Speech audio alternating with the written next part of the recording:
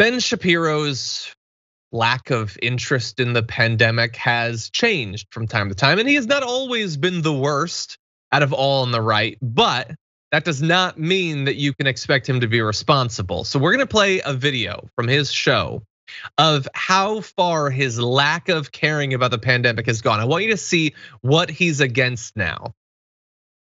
Everybody panic. We have to panic.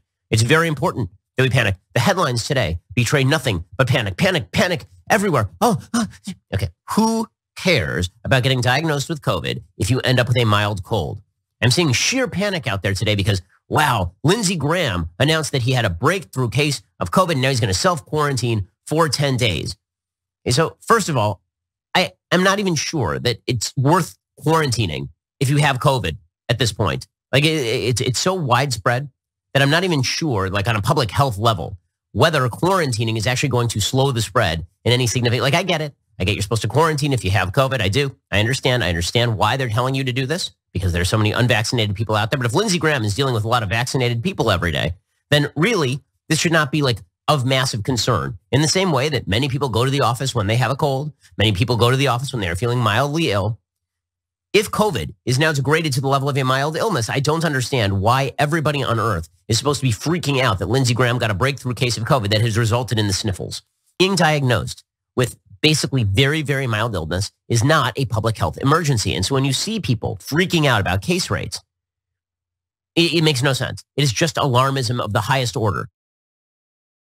Okay, Francesca. So, um, uh, more than a year ago, uh, early on in the pandemic, when it was first hitting the U.S., Trump famously said that you should still go to work if you have COVID, and that was crazy stupid. So so stupid. It has been a year and a half. So as stupid as that was, and I think we can all agree it was stupid. Add a year and a half, add 600,000 dead Americans, and Ben Shapiro has now reached that level of Trump stupidity. The intellectual gladiator himself thinks you shouldn't, if you have it, just go about your business. Just go to work, just have fun. Don't let it, you know, like like kill your buzz, man. Just go about your business. That is what he is advising his audience to do. Dude, that dude is streaming from quarantine right now. Like his wife was like, you his wife that definitely exists in the strongest air quotes possible was like yeah no you need to leave. Go go go somewhere else. I'm a doctor supposedly again air quotes not clear. Maybe a dentist uh not yeah.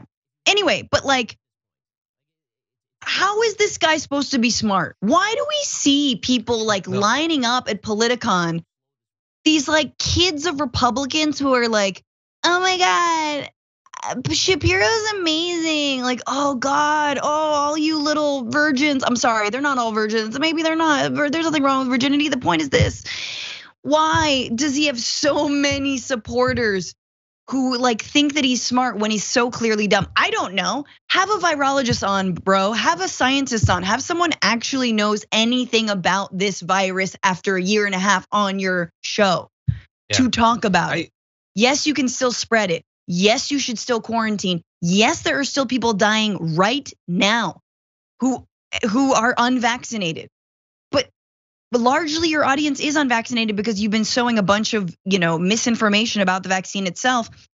It's hard to keep track, right? The the, the right only feeds on reverse psychology. So at this point with so much changing information, you know, they're really on their toes, John. Mm-hmm. Yeah, uh, as to why people watch him, I think it's a combination of a few things. One, he gets a lot of advertising. I mean, so much money every year goes into advertising. Um, but that said, some people like it. I mean, he he talks very fast. He seems very sure of himself, and he preaches that you don't have to be responsible about anything. And all of the people that you hate and fear, it makes you better that you hate and fear them. That's going to be appealing to some people. But anyway, um, yeah, there. So he is he is saying just go about your business. Don't worry if you have COVID.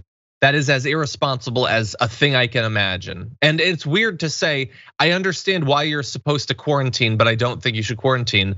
Then I'm gonna return to your first point and say that I don't think you do, in fact, understand why you're supposed to quarantine. But that said, um, I the the main reasons I wanted to do this story was I love, as you all know, criticizing myself for being stupid enough to give these people credit. So I gave him the least credit imaginable a couple days ago. He tweeted something and I quote retweeted it with just the word good. That's it. But even that was too much. His tweet said, Here are your choices get vaxxed, probably avoid COVID altogether. And if you do get it, get mildly ill and almost certainly avoid death. Or don't get vaxxed, likely get COVID, most likely get somewhat ill, but retain a far higher chance of death than the vaxxed. That seemed to be indicating that he was taking it a little bit more seriously and understood that what you get, probably not dying, sure outweighs, ah, it seemed like he had finally gotten that. Uh, and people pointed out, even at the time, the next tweet in his thread was uh, note that in this calculation, there's no talk of masks because masks are not going to prevent either outcome indefinitely given current data. Well, again, as I always say, that is not a logic that right wingers use for literally anything else. Stuff just improving your chances, but not assuring that you'll be just fine doesn't stop them from locking their door, using a seatbelt, carrying a gun for self defense. It's weird that they only apply that to this. But more importantly, what is underlying that last tweet and what he said in the video is there's so much COVID, there's no point in doing anything. And of course, you have to ask, how did we get to that? Why is it so bad that there's just so much COVID that we might as well like just not even try?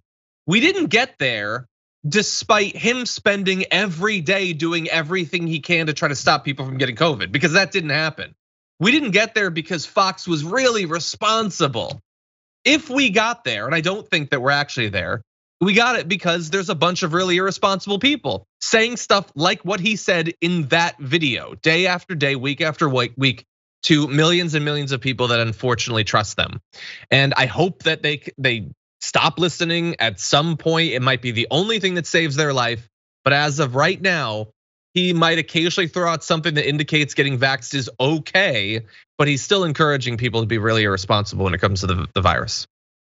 Absolutely, and and this is for uh, you know an ideology that believes personal responsibility above everything else, you know, and the government should have no role, and it's just personal responsibility, right? Well, guess what? Your people aren't getting vaccinated. Your people are not wearing masks, and your people are spreading COVID to others yeah. and killing them.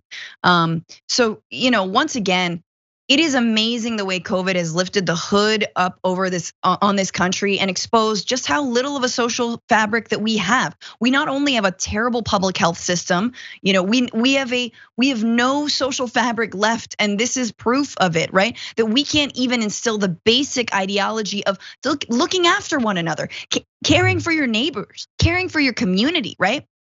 This is the most basic thing to any community, any society, any country, right? I love it. They're like, we live in a society. Like, where? Where is your society? Or is it that you and you and your ideology love the fact that people are isolated, they're alone, they're scared, they're out of work, they're desperate. And that yeah. lends itself to a a hyper individualistic, hyper fascist, um, uh, just listen to me and my voice and my grift on my channel and nobody else's. Do not go out in the world, right? And if you do, arm yourself to the teeth. And so what if a bunch of people die, right? Like it is, they want the apocalypse so bad and they do not care about life whatsoever. And and we see that here. I mean, I'm last thing I'll say is I do believe like I think a lot of right wingers who are wealthy enough um, to have a giant piece of land or a museum-like home like the McCloskeys are like, yeah, why? Why do I need the vaccine? I don't see anybody anyway, and when I do, mm-hmm. I pull a gun on them. It is like it is right-wing ideology and identity to feel like, look, we should quarantine all the time from one another because everyone should be mistrusted and everyone's terrible. And it's like, mm, not really quite ready to give up on the whole society thing yet yeah. personally. Yeah. 100%. Uh, I'm going to finish with just a, a few facts um, because things are developing quickly. Uh, I don't know if it was Monday or on Friday where we passed 100,000 cases once again. Um, but in the last day of reporting, we had 149. It went up 50% in like two days, three days. COVID 19 cases among US children and teens jumped 84% in a week. which is weird because they can't get COVID. I heard. Um, one third of all those cases, by the way, are coming from just Texas and Florida. Uh, but uh, Ben Shapiro he uh, he countered the argument that um, obviously these red states are doing a bad job by showing overall death numbers from the entire pandemic by state and showing that states like New York and New Jersey had uh, more deaths per capita. Um, of course, they were hit before we knew how to even test for it or even knew it was here. More people are dying now when we have all this information and vaccines. But hey, if it's not good enough for the intellectual gladiator, I'm probably missing something, I guess. And by the way, uh, in his uh, point, like we didn't play the whole video, he said, uh, "Don't worry about the cases. It's only hospitalizations and deaths matter." Later on, he said, "Well, even hospitalizations don't really matter. Tell that to the people in the hospital." But he said only deaths matter. And look, I hope, I, re- I remain hopeful that we will never get the death numbers that we had before. But he is pretending that it's not getting worse. Mm-hmm. On August 3rd, we had 668 deaths. Back on July, like around the first week of July, we were at like 150, 200, maybe 250. So we're losing something like four to 500 more people each day than we were. And that is a small enough increase in deaths that people largely aren't even talking about it yet. But the cases are now going up 50% in a couple days. Are we just gonna cross our fingers and hope that that's not gonna translate to more deaths? Why would we believe that?